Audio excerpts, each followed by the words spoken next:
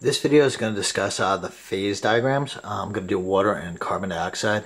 Uh, what a phase diagram is, it's a relationship between pressure, temperature, and the phases that uh, the combinations are going to produce.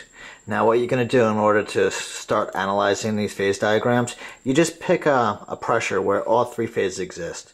And if you just remember, the temperature's down here, so lowest temperature is your solid, in the middle is going to be a liquid, and the highest temperature is going to be a gas. Now, uh, you're going to be asked questions like normal uh, boiling point and normal melting point.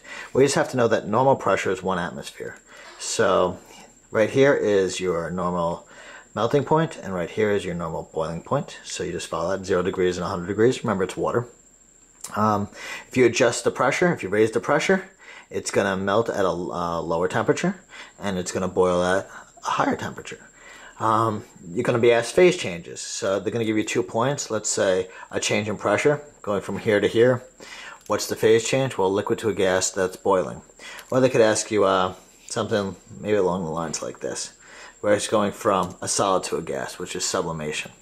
Um, two other points you have to know right up here. This is called the critical point. Um, you got the critical pressure, which is 217, and the critical temperature, which is uh, roughly 374.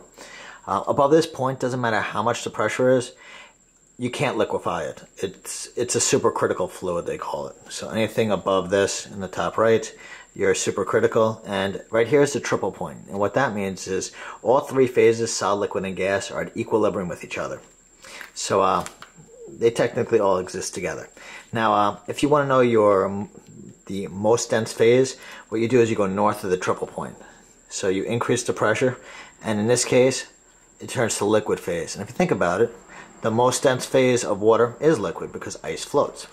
Now we're going to look at carbon dioxide. So here's carbon dioxide's phase diagram. And um, here's your supercritical fluid. There's your critical point. The triple point is right here. Um, again, you just go right across, solid, liquid, and gas. What's interest, interesting, at one atmosphere, there is no such thing as liquid CO2.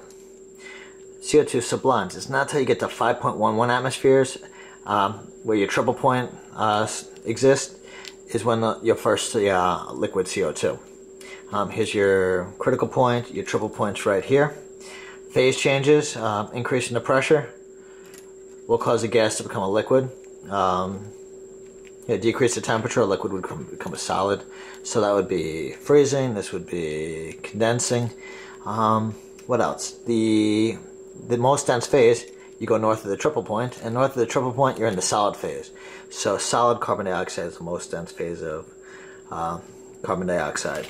Now, all you have to do is know that if it tilts to the right, it's uh, the solid's the most dense phase, and if we go back to water, if it angles to the left, uh, the liquid is the most dense phase. And that's phase diagrams right there. Hope that helps.